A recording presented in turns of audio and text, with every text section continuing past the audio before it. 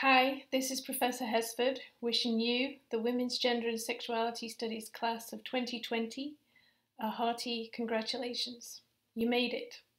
You should be especially proud of yourselves for getting through what has been a very difficult semester.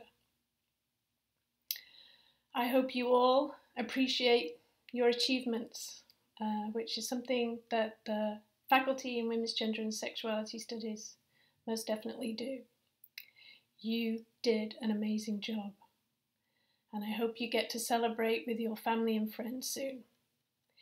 In honour of your achievements, I would like to recite a short poem by Emily Dickinson, a woman who, in many respects, was the daughter of privilege, but who also had to overcome a lot in her lifetime, including a chronic illness, as well as the indifference and contempt of many of her male literary peers.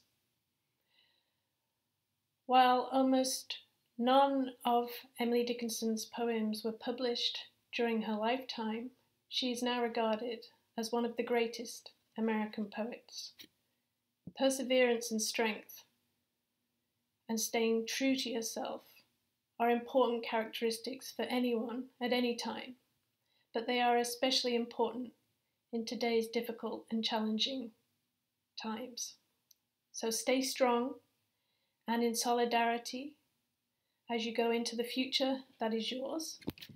I give you Hope is the Thing with Feathers by Emily Dickinson.